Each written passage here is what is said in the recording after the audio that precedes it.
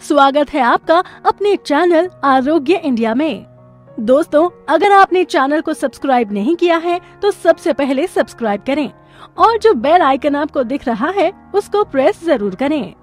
रविवार के दिन जिस व्यक्ति का जन्म होता है, उसे हर कार्य में सफलता मिलती है। इस दिन का स्वामी ग्रह सूर्य है। इस दिन अगर पूर्व दिशा से किसी यात्रा की शुरुआत करें तो बेशक जातक को ज़रूर सफलता मिलती है। भास्कर रवि यानी सूरज को सभी तरह से शुभ माना जाता है। सूरज की आती किरणों से अगर कोई कुछ मांगे तो उसकी हार्दिक इच्छा ज़रूर पूरी होती है। यदि कोई प्रेमी प्यार में सफल होना चाहता है तो वो सूर्य से प्रार्थना कर सकते हैं। उनका प्यार ज़रूर सफल होगा।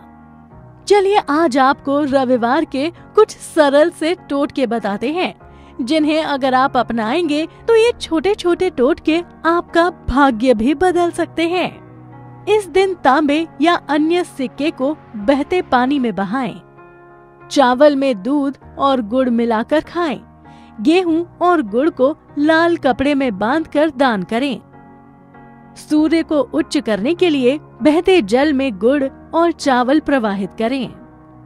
दोष निवारण के लिए आपको सूर्य पूजन करना चाहिए। सूर्य विष्णु का रूप है, इसलिए सूर्य की पूजा करें। सुबह सूर्य को अर्घ देना उत्तम माना जाता है। सुख शांति के लिए हरिवंश पुराण का पाठ भी कर सकते हैं। इसके अलावा तांबे के दो बराबर के टुकड़े ले लीजिए। इनमें एक को मन में कोई भी संकल्प लेकर बहते पानी में बहा दें। आपका संकल्प ज़रूर पूरा होगा और दूसरा टुकड़ा हमेशा अपनी जेब या पर्स में साथ रखें। हृदय रोग, पेट के रोग, आँखों की तकलीफ़, झूठे आरोप या धन हानि हो तो तांबा या गेहूँ का दान करें आखिर में आपको एक बहुत ही सरल और बहुत पुराना टोटका बताते हैं कोई भी शुभ काम करने से पहले गुड़ या मिठाई खाएँ और पानी पिए। तो दोस्तों, अगर आप भी अपने भाग्य को बदलना चाहते हैं तो हमारे बताए हुए ये सभी टोटके आप रविवार को ज़रूर कर कर देखें।